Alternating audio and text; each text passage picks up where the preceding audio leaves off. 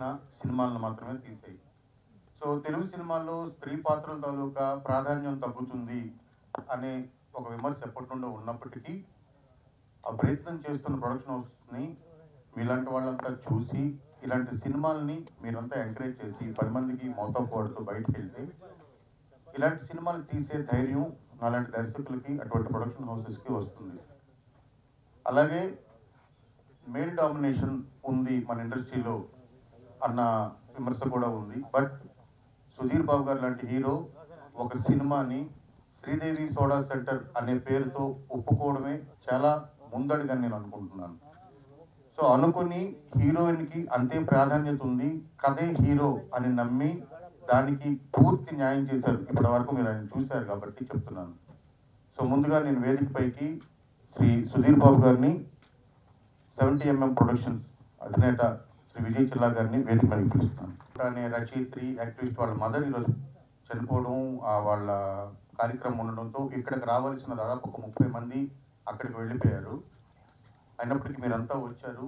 చాలా సంతోషం. మీలో ఈ సినిమా పట్ల నిజాయితీగా నిబద్ధతగా మీరు నాలుగు మాటలు చెప్తారనే ఆశాభావంతో మిమ్మల్ని పిలుస్తున్నాను. ముందుగా శారదా గౌడ్ గారు హైకోర్టు అడ్వకేట్.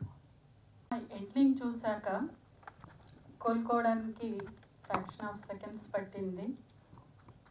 అద్భుతంగా ఉంది. రియల్లీ తమ్ముడు సుధీర్ బాబుని మాత్రం న్యాచురల్ స్టార్గా చెప్పొచ్చు. ఇంత క్యాజువల్గా మన మధ్యలో తిరిగేటువంటి ఒక జంటని చూస్తే ఎలా ఉంటుందో అంత న్యాచురల్గా ఆనంది తర్వాత సుధీర్. చాలా బాగా చేశారు. అలాగే కళ్యాణి గారు హ్యాట్సప్ అమ్మ జీవించే జీవించేశారు. ఈ భారతదేశంలో ఒక మహిళ ఒక పురుష అహంకారంతో మనువాదంలో ఉన్న పెరిగి ఆ భావ సంచలనంలోటువంటి పెరిగే భర్తతో సంసారం చేసేటువంటి ఒక ఆడపిల్ల ఒక తల్లిగా కళ్యాణి వేదన అసలు వర్ణించలేం. ఆమె ఎక్స్ప్రెషన్స్ కానీ అసలు చాలా చాలా అంటే న్యాచురల్గా అనమాట అలా ఉంది. ఇక కథకు వస్తే మొత్తానికే కరుణా గారు చెప్పినట్టుగా వాస్తవాలను సమాజంలో ఇప్పటికీ కూడా మనం చూస్తూనే ఉన్నాం. ఇంకా వెలివాడలు ఉన్నాయి దళిత వాడలు ఉన్నాయి ఊరి చివ్వన పూరి గుడిసెలు ఉన్నాయి ఇప్పటికీ కలుపుకోలేనటువంటి పరిష్కారం లేనటువంటి సమస్యగానే చూస్తున్నాం. మనం మాట్లాడతాం చాలా మాట్లాడతాం. కులాలు ఎందుకు మతాలు ఎందుకు మానవత్వం గొప్ప అని చెప్తాం. కానీ మన వరకు వచ్చేసరికి మరో రీతిలో స్పందించడం జరుగుతూ ఉంది. అంటే శరీరం ఒకలాగా స్పందిస్తే మనసు మరొకలాగా స్పందిస్తుంది అని చాలా అంటే అంతర్భాగంగా ఒక మానసిక సంచలనాల్ని ఏ విధంగా ఉంటాయి అనేది కరుణాకుమార్ గారు చాలా అద్భుతంగా చెప్పారు. అంటే మొహమాటం లేకుండా చెప్పాలంటే పురుషుడు అనేవాడికి కులం తక్కువ అనేది పెళ్ళప్పుడు గుర్తొస్తే నీకు పడుకోవడానికి మాత్రం కులం అవసరం లేదు. అది ఎంగిలాకైనా కూడా సరేనా? ఏమిరా మీ అహంకారం? ఎక్కడికి పోతున్నాం మనం? నిజంగా ధిక్కరించాలి ఇలాంటి మనస్తత్వాలను భార్య. అంటే నీ వంశాన్ని ఉద్ధరించడానికి అందరినీ వదిలిపెట్టుకొని వచ్చేటువంటి ఒక అమోఘమైన మల్లెపువ్వు లాంటి మనస్తత్వం ఉన్న వాళ్ళని మనం పొందాలి అనుకుంటే ఏ కులమైతేంది? ఏ మతం అయితే ఏంటి అనేది ఆలోచన చేయాలి. కానీ ప్రేమించడానికి ఉంచుకోవడానికి ఆడది అవసరం పడుతుంది. కానీ పెళ్ళి అనేసరికి రెండు కుటుంబాలు పరువులు మనం చూస్తూ ఉంటాం. పరువు హత్యలు ఆనర్ కిల్లింగ్స్ చాలా ఈ మధ్యలో మా కోర్టులలో కూడా వస్తున్నాయి. చాలా వరకు పెళ్ళిళ్ళు కూడా చాలామంది అనుకుంటారు ఈ కులాలు మతాలు పెళ్ళిళ్ళు చేసుకున్న వాళ్ళంతా కూడా వాళ్ళు బాగుండరు మధ్యలో ఏదో ప్రాబ్లం వస్తుందంటారు. లేదు కుదిర్చిన పెళ్ళిళ్ళు కూడా ఈరోజు కోర్టుకు వంద చేస్తే డెబ్బై విడాకులకు వస్తున్నాయి అంటే అమ్మాయి అబ్బాయి మనస్తత్వాల్లో చాలా తేడా వచ్చింది. సమాజానికి అనుగుణంగా అబ్బాయి అమ్మాయి ఆర్థికంగా వాళ్ళకు ఉన్నటువంటి సంస్కృతి పరంగా కూడా భేదభావాలు వచ్చినాయి కాబట్టి స్వతంత్రాన్ని కోరుకుంటున్నారు. ఇది తల్లిదండ్రులు గమనించాలి. మనము వాళ్ళకి సర్ది చెప్పే వరకు చెప్పచ్చు కానీ వాళ్ళు ఇండిపెండెంట్ ఆలోచనలు ఉన్నప్పుడు ఇండిపెండెంట్గా ఉండనివ్వాలి. కానీ దాన్ని ఏదో మన అహంకారంతో కట్టి పెట్టేయాలనుకున్నప్పుడు మాత్రం ఇలాంటివన్నీ జరుగుతాయి. కానీ నిజంగా ఒక హ్యాపీ ఎండింగ్ ఉంటేనేమో బహుశా అందరికీ బాగా నచ్చుతుందేమో కానీ వాస్తవాన్ని వాస్తవంగా చూపించారు. కాబట్టి మనకు కొంచెం బాధపడుతూ వెళ్తూ ఉంటాము కానీ తప్పదు. అంగీకరించాలి. సమాజంలో ఇవి జరుగుతూనే ఉన్నాయి. ఇలాంటి వాటన్నింటిని మనం చూస్తూనే ఉన్నాం. కొంచెం సేపు బాధపడతాం. ఆ తెల్లగాన్ని మళ్ళీ మర్చిపోతాం. ఎందుకు జరుగుతుంది అనేది వాస్తవంగా విశ్లేషించినప్పుడు మనిషి మనస్తత్వం మీద కౌన్సిలింగ్ చేసి వాళ్ళని మనతో పాటుగా మార్చగలిగినప్పుడు మాత్రం తప్పకుండానే ఒక డైలాగ్ చెప్పేసి నువ్వు ఎప్పుడో చచ్చిపోయావు అని చెప్తాడు. అది చాలా అవసరమైనటువంటి వాక్యం. చచ్చిపోయాడు అతను ఎప్పుడు? ఎంత దారుణంగా పరువు హత్యలు అనేది ఏ విధంగా జరుగుతున్నాయి? మాకు అప్పుడప్పుడు వస్తున్నప్పుడు స్టేట్మెంట్స్ రికార్డింగ్ వాళ్ళు చెప్పిన విధానం కన్ఫెషన్ స్టేట్మెంట్స్ అవన్నీ చదివినప్పుడు ఒక్కోసారి ఒళ్ళు గగురుపాటు కలుగుతూ ఉంటుంది. చూడం కానీ చదువుతుంటేనే ఇలాగ అనిపిస్తుంది. ట్రయల్ అప్పుడు వాటప్పుడు చూసినప్పుడు. కానీ ఇక్కడ అమ్మాయిని ఉరివేసే సన్నివేశాన్ని నేను చదివినటువంటి స్టేట్మెంట్స్ని ఇక్కడ రెండింటిని క్రోడీకరించి చూస్తే ఒక్కసారి అసలు నాకు ఏం అర్థం కాలేదు. ఎంత వాస్తవంగా అటు కళ్యాణి యొక్క బాధ ఇటు నరేష్ పరువు పోతుందనే బాధ ఆ కుల పెద్దగా ఉన్నటువంటి వ్యక్తి అంత వయసు వచ్చినా కూడా కులం కులం అనుకుంటూ ఆ ముక్కు పచ్చలార అమ్మాయిని ఇరవై ఏళ్ళు కష్టపడి పెంచిన అమ్మాయిని ఇక్కడ సినిమా అనుకుంటున్నారు కానీ వాస్తవాలు ఇంకా ఘోరంగా కూడా ఉన్నాయి. మేము చూస్తున్నాం వింటున్నాం చదువుతున్నాం కాబట్టి తెలుసు. ఇది చాలా వరకు ప్రయత్నం చేశారు. ఇది ప్రతి ఇంటికి కూడా వెళ్ళాల్సిన అవసరం ఉందండి. తెలుసుకోవాల్సిన విషయం ఉంది. సమాజంలో ఇట్లాంటివి ఉన్నాయి.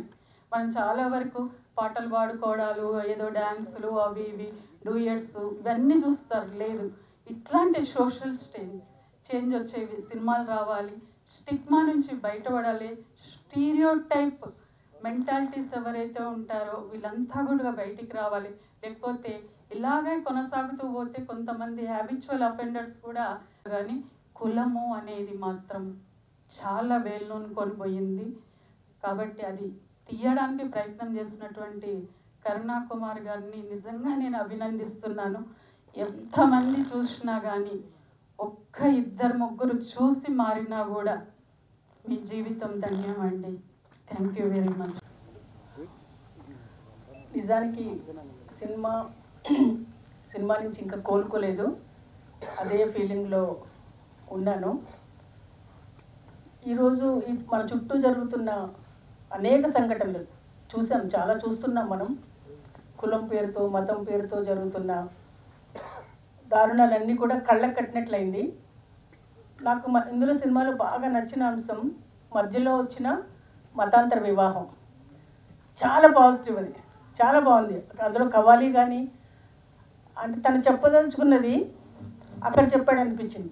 కులం కాదు మతం కాదు ప్రేమ దగ్గరతనం. అవి ఉండాలి అనేది సందేశం అనేది సినిమా మధ్యలోనే మనకు అందింది. చివరికి వచ్చేటప్పటికి అది ఇంకా చాలా చిక్కనైపోయింది. అంటే ఎందుకు మారాలి మనం? కులం లేకుండా ఎందుకు ఉండాలి? మతం లేకుండా ఎందుకు ఉండాలి? ఓన్లీ ప్రేమ పేరు మీద మాత్రమే పెళ్ళిళ్ళు కానీ వాళ్ళ వాళ్ళ యొక్క సహజీవనాలు కానీ ఉండాలి అనేది చాలా బలంగా చెప్పాడు. తప్పకుండా ఈ సినిమా ఇంపాక్ట్ యూత్ మీద ఉండాలి ఉంటుంది. నేను ఆశిస్తున్నాను. ఈ సందర్భంగా నేను నా పర్సనల్ విషయం ఒకటి చెప్పదలుచుకున్నా. ఈరోజు నా పెళ్ళి రోజు. నేను కులాంతర మత కులాంతర వివాహం చేసుకున్నా నలభై ఏళ్ళ క్రితం ఫార్టీ ఇయర్స్ బ్యాక్ నేను పెళ్ళి చేసుకోలేదు. జస్ట్ మేము వెళ్ళి ఇద్దరం కలిసి ఉన్నాం తర్వాత వెళ్ళి రిజిస్టర్ చేసాం ఏమి మా మా పెళ్ళి ఏమన్నా పోయిందా? మా నాన్న పరుగు పోలే మా అత్త పరుగు పోలే ఎవరిది పోలా?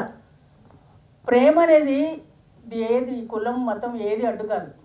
మనం యువత ఈరోజు అది నమ్మగలిగితే ఎవరు ఏం చేయలేరు. ఇప్పుడు కులం ఎంత శిలాజంగా ఉందో లాస్ట్లో ఆ పెద్ద ఆయన చూపించాడు. అది కులం. దాన్ని చావు దెబ్బ కొట్టాల్సిన అవసరం ఉంది. మతాన్ని కానీ కులాన్ని కానీ ఈరోజు ఈ యూత్ ఆ పని చేయగలుగుతారు. తప్పకుండా మా అబ్బాయి కరుణ ఇలాంటి సినిమాలు చాలా తీస్తాడు. మాలాంటి వాళ్ళని పలాస్ చూసి నేను డాన్స్ చేశాను కానీ ఇక్కడ ఏంటంటే చాలా దుఃఖం లోపల లోపల పొంగికి ఉంది. ఏం చేయలేకపోయాను అట్లా కూర్చుండిపోయాను అంతే. నువ్వు మాట్లాడాలమ్మా అంటే మాట్లాడగలను లేదు అనిపించింది నాకు. Thank you congratulations very good నేను నిజంగా చెప్తున్నాను ఆనెస్ట్గా ఇంతకుముందు ఫస్ట్ వచ్చినప్పుడు యాదృచ్ఛికంగా రావాల్సి వచ్చింది అనమాట. నాకు నిజంగా హోప్ లేదని ఫస్ట్ మూవీ చేస్తున్నాను అందుకే వీటితో కూడా సరిగా పలకరించి పలకరించినట్టుగా ఉన్నా. Um, కానీ ఒక పాయింట్ మాత్రం బాగుపడుకున్నాను నిజంగా మతాంతర వివాహాలు జరుగుతాయి ఈజీగా. కులాంతర వివాహాలు జరగవు. చాలా కష్టం అండి.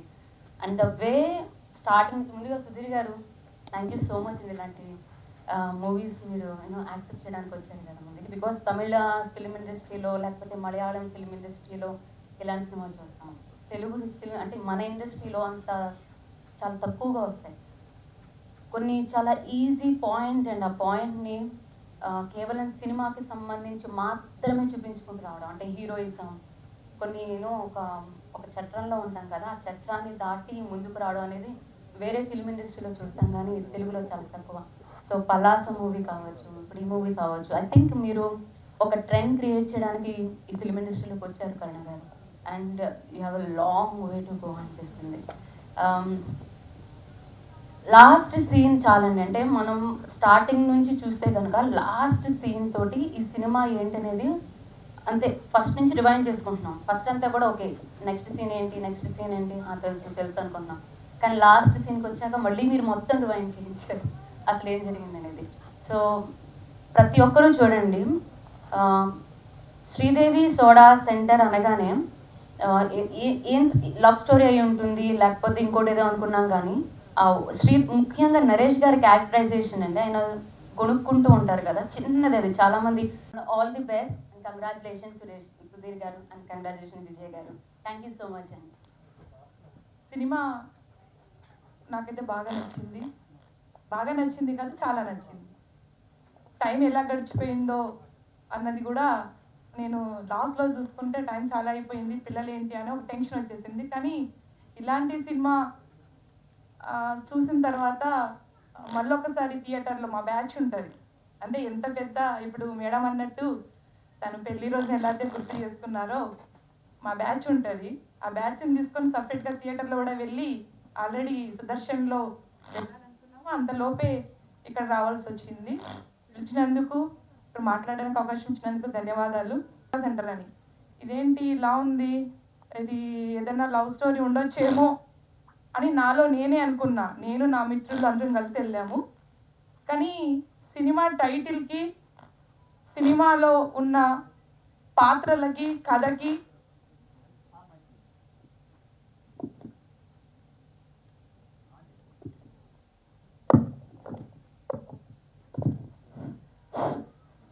సినిమాలో ఉన్న పాత్రలకి కథకి ఈ పేరుకి అన్నిటికీ నేను ఆ రోజు అనుకున్నా. మేబీ నాకు తెలిసి ఒక టెన్ డేస్ బ్యాక్ నేను టైటిల్ చూశాను. కానీ ఈరోజు ఆ రోజు నేను అనుకున్న దానికి ఈ రోజు చూసిన దానికి చాలా వ్యత్యాసం ఉంది. ఎంత ఉందంటే అంత ఉంది. ఇప్పుడు బయట సమాజంలో ప్రేమ అనేది ఎలా వస్తుంది ఎలా పుడుతుంది ఏంటిది అన్నది దాన్ని ఎవ్వరు చెప్పలేం కాబట్టి అలాంటి వాటిని యాక్సెప్ట్ చేసి తల్లిదండ్రులు పిల్లలు ఇష్టాన్ని కూడా మొగ్గలోనే తుంచేయకుండా ఫ్యూచర్ ఉన్న వాళ్ళని భవిష్యత్తు తీయాలనేది కూడా కోరుకుంటున్నా. ఇలాంటి సినిమాలు ఇంకా రావాలి.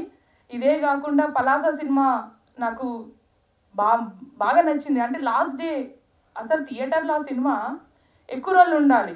కానీ ఐదు రోజులు ఆరు రోజులకే సినిమా తీసేయడం అనేది జరిగింది. చాలా బాధాకరమైన విషయం. నేను చాలా బాధపడ్డాను.